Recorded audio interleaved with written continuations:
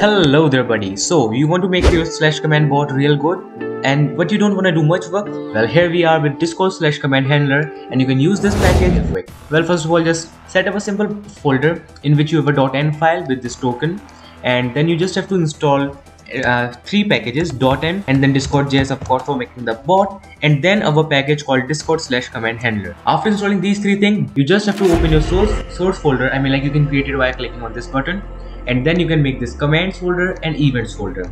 And for now let's just open our index.js and do the things real quick. Const client is equals to new client.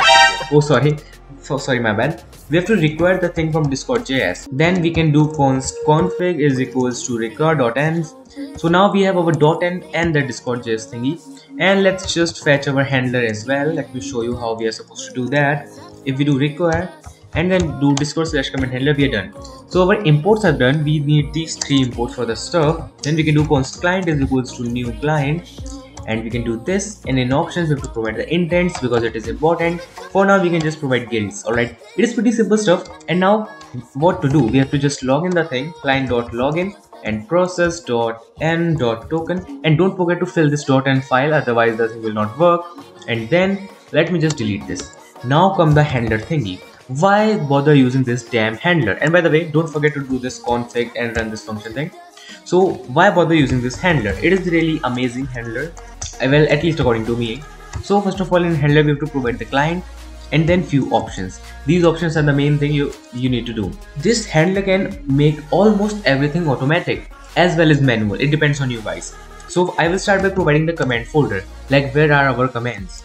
So it is in dot slash commands like from this file if we want to go to commands we will do dot slash commands all right pretty simple javascript stuff. And now comes another thing. It is like command type. Like what kind of type it is? To be honest you might be confused by file or folder. What the heck is this? Well to be honest this is stupid of me but who cares? So like for example if you have stuff like commands then general and inside this you have file you have commands like ping.js and then you have another folder inside commands called moderation.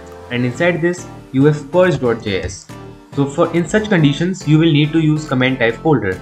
But what if that is not the case your commands are like commands and then you have ping.js this condition you will need to do a file instead of folder and then come all slash. It is like for converting each and every command to a slash command because slash commands are amazing and beautiful. And please if you want you can do auto defer to false. It is by default enabled because you know uh, we have to reply the interaction in first three seconds if i'm not wrong. And if you fail to do so the interaction will expire and if, if you try to reply later on you will get an error. All right so that's why I, I was i used to auto defer or auto reply the thingies but then it is, is kind of shitty. But anyways you can do false for now. And then what else do we need to do? We need to do handle slash. It is like automatically handle the slash commands. You can enable it because it is needed for now. And as of slash guilds it is like the guilds where you want to test your commands. All right so i will just copy paste a guild id real quick. You can add any number of ids just depends on you. It is an array and now come run parameters. You might ask what the heck is this? So for example we have our run command. Like let me just show you. How to define a command? Just go to this website uh, in npm.js and you can see these are the properties you can add.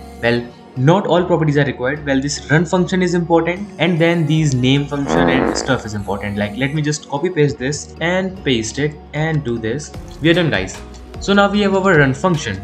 Now you see this command data? Like normally people have stuff like client comma command and thingies. But if you are using a package then they have something of their own. Like but you you you can customize this thing. That is the main thing. You can customize your run package. Like what will you get in here? In run parameter you can have custom run parameters like this. If you provide these arrays like for example this array for now. This array includes two strings. First one is one second one is two. This means the, in the, our run parameter we will get client then the guild. Alright? But what will we normally want? We will want the client and the interaction. So we can just do array of 1 then 4 now we will get the stuff. Now you might ask what the hell will do 12 in, eh, you should consider it as 1 and 2 so what will happen is if I pass in 7 then I will get a object alright? So now we will get client comma interaction. And this thing will be an object will it will be like like for example if I name it x then x is equals to an object which includes user and the member alright? That's how the stuff works. But we don't really need these two thingies and so I will just remove it from here. Now just do a simple thing interaction dot reply and we will do ping is dollar client dot ws.ping and of course for documentations you can still do slash start thingy. Then you will get documentations for this client thing but we don't really need that because we are pro enough. And event like our command is done now about event like how to get an event. For example if i go on index.js and if i do client.on you can see i get these names. Like for example ready so if i want a ready event handler I will just go in events and make a file called ready.js and then we have to export a function. We will do module.exports is equals to a function. And then this function's code. And by the way in our function parameters first parameter is the client and remaining parameters are the parameters you will normally get. For example in ready function if I add comma now you can see we get these parameters so in ready function we will get the client parameter and equals to the stuff. And for example if we use interaction create function interaction so now what you will get is you will get the interaction.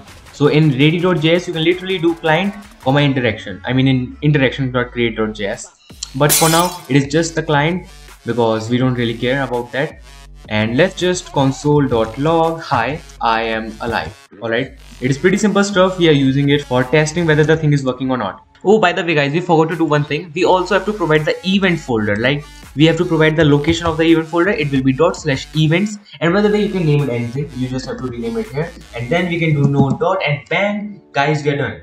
You will see some cool stuff real quick I mean like it will just log this thing. See it logged it. Now we can check our Discord. Alright guys, so I will just go to the server and do so the name of the command is help. Alright, my bad. So if I do slash help, then we will get a real good reply. Its ping is 434. So you can see the thing is working. We are getting our replies. And if I just do some different command which we didn't add in, then uh, let the name be that then we should get an error invalid interaction application command because we never added it and I added it in my past so you know stuff happens. But anyways the thing is our simple bot is done. You can just add multiple commands multiple events and by the way if you want two ready.js just do ready.2.js alright? And you can add any number after that dot. And that's all. And by the way don't forget the, the case like in interaction create the c is supposed to be capital and don't add any dots